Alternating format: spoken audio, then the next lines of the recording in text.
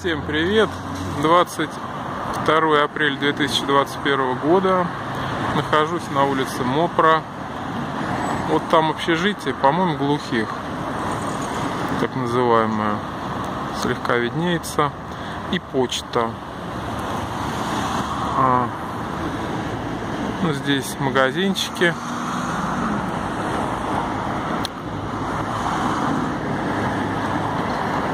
За этим домом общежитие иностранных студентов в том числе, которые учатся в пединституте.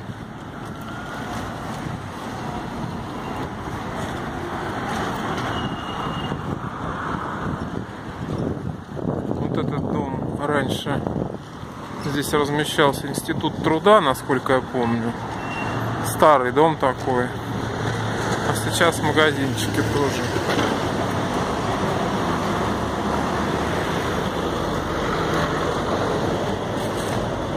Общежитие студенческое.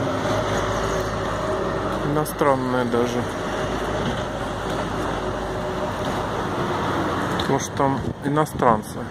Афроамериканцы, так сказать. Видел я их. Разных национальностей и народов. А вот это дом пенсионный фонд огромный. Огромный такой пенсионный фонд.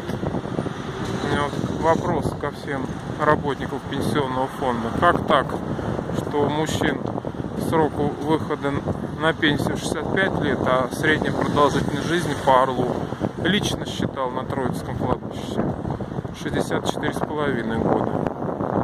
У женщин 72,5, им полегче.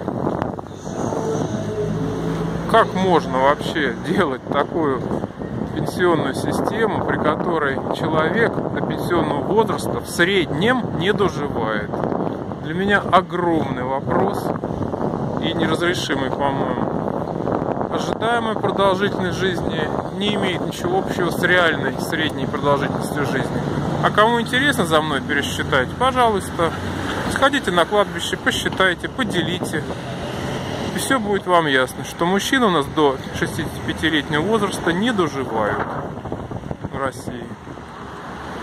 Поэтому пенсионные взносы платить смысла им никакого нет. Вот такой дом, бывший институт труда, улица Мопра. Это улица Комсомольская там выше по ландшафту остановка Трансмаш, магазин Мелодия, автосельмаш. Если, опять же, вверх по ландшафту, по улицу, по улице Мопра пойти вот в ту сторону, там слева как раз будет крестительское кладбище. Я думаю, там продолжительность жизни еще хуже. Троицкая все-таки как бы советский район, Крестительская, наверное, в заводском районе мужчины еще меньше живут, чем в советском, если в среднем посчитать. Ну, про деревни я уж не говорю. Там, наверное, 58-59 лет, а то и меньше. Поэтому, уважаемые представители пенсионного фонда, я не знаю, что вам сказать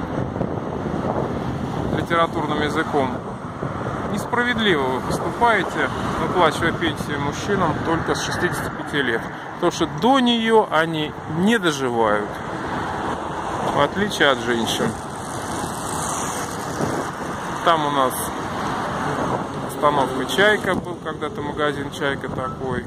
Это общежитие пединститута. Сейчас это ОГУ. И справа тоже ОГУ за сквером комсомольцев. Вот справа здание находится. Что еще сказать? Комсомольская площадь называется, Комсомольский сквер комсомольцев, памятник комсомольцам. Улица Комсомольская, улица Мопра. Международной организации помощи рабочим. Или, а, помощи революционерам. Во, МОПР.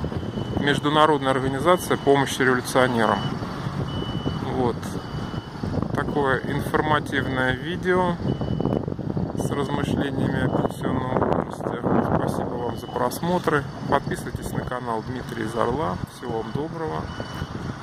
Живите долго и счастливо. И вы, дорогие работники пенсионного фонда, тоже. Постарайтесь все-таки быть более справедливыми в отношению к тем, на кого вы, по сути, должны работать. Тем, кто платит взносы на вашу зарплату в том числе.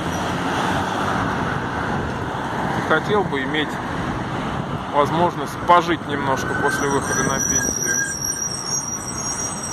а не сразу на тот свет. А то обман получается, серьезно.